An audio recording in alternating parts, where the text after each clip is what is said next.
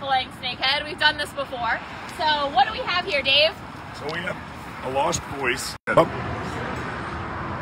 a cooler snakeheads. What you see on them is salt. So one reason that salt's on there is because snakeheads are slimy. Salt helps break break it down. You can do this with eels too, but it's just one technique to break down some of that slime, make them easier to handle. Plus, salt lowers your temperature of your ice, makes your ice colder, and it's better for high quality seafood. So what we've done here, piece of sugar cane. This is a technique from Asia. Oh, well, all right, it's already been done, right? the cane got stuck in. Nothing else on the fish's body is, is sharp. So follow me around. We're gonna get cleaning this fish. All right, so come on around. We'll start filleting the snakehead. Pulling with it. All right, we have a microphone now. Hopefully that helps a little bit. Um, Dave has brought over the snakehead, which he has caked with salt. So that's to cut down on the slime. Um, the last time we filleted a snakehead, it flew off the table because of all the slime. So we have a solution now. So take it away, Dave. Absolutely. So what you couldn't hear me say is this is a piece of sugar cane. Stick it in here to control the fish. Right into, its mouth, into its body cavity. You hold on to it. Sorry, I lost my voice. Um, you hold on to it this way and control this fish. Another way of doing it is this this uh, table I have came with a clamp. So this clamp, lot of times I'll flip the snakehead this way.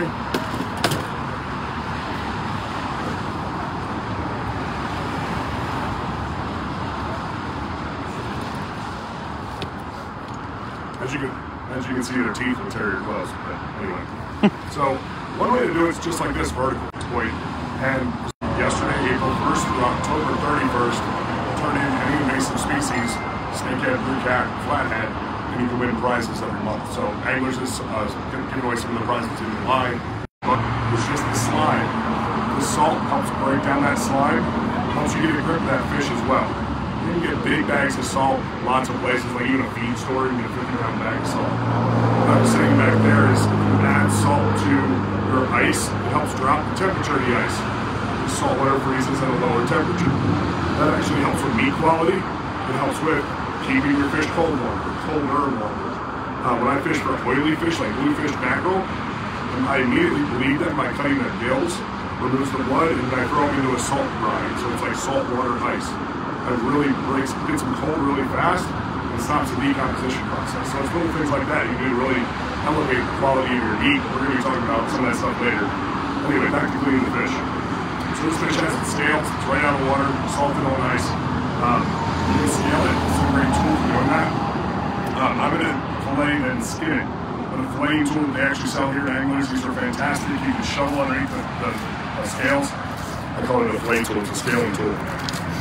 See how easy the scales come off? Also, this little serrated edge, you can use that as well if you're having some trouble. So why not? I'll fillet. I'll, I'll go ahead and scale this one. And again, there's no pesky little spikes that are going to jab you on these snakeheads. It's just their teeth. So one thing that people do is, you know, fillet and then skin. You can add a lot of texture to what you're doing cooking. We're going to be grilling tonight. Um, sometimes I will grill less slimy fish with the scales on. They help almost like knuckles. Throw it on the grill. People may call that half shell. In them, you're going to get that skin and it'll crisp up and give you a really good flavor. See live. We'll see it later. We'll swing on by if you're on the internet right now and come out and be ready to eat. so anyway, scales out of the way, right? Now we get into the meat. So personally, I like to start with the knife a little bit upside down, um, or find a little as far as you can where the meat stops. It's the back of the skull. A lot, you get a lot better at it. The muscle memory, you can go quick, but you're not in a hurry. You went fishing, you take care of the meat. Take your time. You get it done right. I see a lot of people clean fish inside. You're brave. We can't do that at my house, so I do it outside. Um, it's all about controlling the temperature. If it's hot out, do it quickly so that you're keeping that meat temperature down.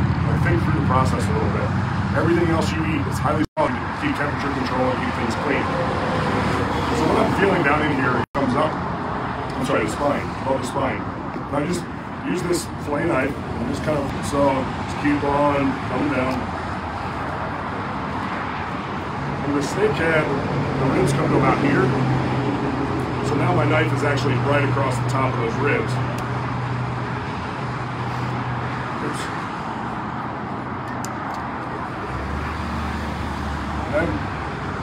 here. I'm gonna unclip it, get a little better control of it. It's always easier. But right here, you really look at the fish's structure. It's meat across its shoulder here, and then its gut cavity starts. When you see that gut cavity, the ribs are on the outside of that. There's a lot you can do with fish ribs. It's a fattier area. And then also this collar area up in here has a lot of fat and good flavor to it depending on your taste. The simple filet, you're usually avoiding the amount of meat. What I like to do is, once I get to the back of the ribs, it's also in line with its anal vent right here. I'll push down across the spine and just kind of push down and just be conscious of where your blade is. A lot of people will leave a tag of skin, flip the fish, and then be able to. Now I can see where I go to maximize how much meat I keep on this fillet. Again, this isn't perfect. If you look at the thickness of that meat, the amount of it for a fish this shape, they're all head and meat, right? So there's one size. Again, if the scales are off this, we can leave the skin on. Crisp it up, holds a lot of flavor, lots of things to do with it. You're gonna skin it. It's as simple as one little trick I like to do is cut a little hole here, away from my hand. So that's one way to hold it, is to get it big enough to put your finger through it. You can kind of control the fillet that way. It also works really well, good for a handle. I've actually, I was fishing with a commercial fisherman in Bermuda one time for wahoo. He did that with every single fillet, wrapped string through it, delivered it right to the dock fresh, pulled it up out of the ice just like that. Beautiful skin on wahoo fillets. So another way to control your fillet. Ultimately, skinning is a pretty simple process. That's where a good flexible fillet knife, a lot of bend to it like that, really comes in handy. It's good and sharp, and that's the whole point of that thin blade. So really, it's just a matter of getting down here against the board and just you can kind of pull with your left hand and push with your right. You got to maximize the amount of meat you're keeping on that fillet. And remember, every single piece of this fish can add to something. So there's your clean fillet. You know, some of this bloodline, that'll have a little more of a, a heavier flavor. The fish brings different flavors to your to your table. But explore. You know, the, re- the internet, the amount of information that's out there on how we use every component of these fish is really important. With these invasive species, these should be the ones you're choosing. These should be the ones you're asking for at the restaurants. I had dinner last night at True Chesapeake Restaurant in Baltimore. They had snakehead on the menu, and they have blue catfish. So they're both great. Our entire dinner party tried them all, loved them. And then you got the skin. We're gonna do some uh, a little bit of crispy stuff out here with the skin, so you can stick around, come by and check it out. Um, hopefully there. So you can see I got the vast majority of the meat off. Um, then I would just flip over and do it on the other side. I'll say that snakeheads also lend themselves really well to a full fish cooking them whole. And we're gonna do that later today. You're gonna see one of these with a pain in its throat, cooked on the grill whole. At that point, you know, if you, this is your style, you've got a whole charred fish, slice up, season it up, it steams itself inside its own skin. Even if the guts in, you can do it that way. Crack it open and pick away the good meat. That you've got kind of all the flavors that happen as you steam this fish in its or grill. So lots of different ways. With this fish being distributed throughout Asia, there's tons of creative cooking from all cultures there. I highly recommend people looking into because these fish have been utilized for a very long time. They're relatively new to this region, um, but they're out there. And again, from a conservation perspective, our, our event, the Great Chesapeake have, again, it's 100% free zone. That's a lot of information. Um, but we're gonna do some. You guys can try it yourselves. We've got a couple other fish that are not clean, so go to step up and check them out and see them. We're also gonna be cooking them throughout the day. Uh, snakehead and blue catfish.